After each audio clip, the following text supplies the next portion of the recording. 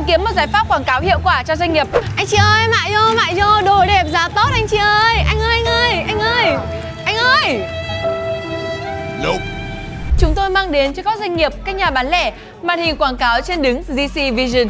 Với thiết kế chắc chắn, tinh tế, màn hình hiển thị 55 inch, người dùng có thể lựa chọn dòng cảm ứng hoặc không cảm ứng tùy theo nhu cầu sử dụng của cửa hàng mình.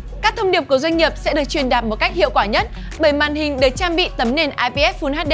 Với công nghệ IPS thì dù khách hàng của chúng ta có đi từ phía nào đi chăng nữa thì màu sắc cũng sẽ không bị thay đổi trên màn hình hiển thị. Với màn hình quảng cáo trên đứng GC Vision, khách hàng không cần phải quá lo về việc làm quen với một thiết bị mới. Khả năng hỗ trợ kết nối Wi-Fi và Bluetooth cùng giao diện dễ sử dụng sẽ giúp doanh nghiệp chuyển đổi nội dung quảng cáo linh hoạt, đồng bộ và chính xác. Và mình nghĩ là có hai điểm mà trước khi Dinh em nói về chúng ta cần phải biết.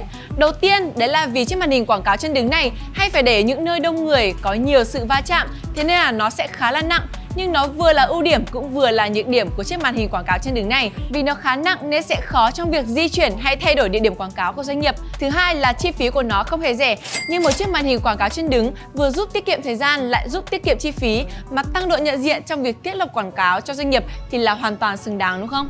Nếu các doanh nghiệp đang muốn mang thông điệp của mình truyền tải qua chiếc màn hình quảng cáo trên đứng này thì hãy liên hệ ngay với hotline của Hacom 1900 1903 hoặc truy cập vào website hacom.vn để nhận được sự tư vấn chi tiết nhất nhé. Còn bây giờ thì bye bye!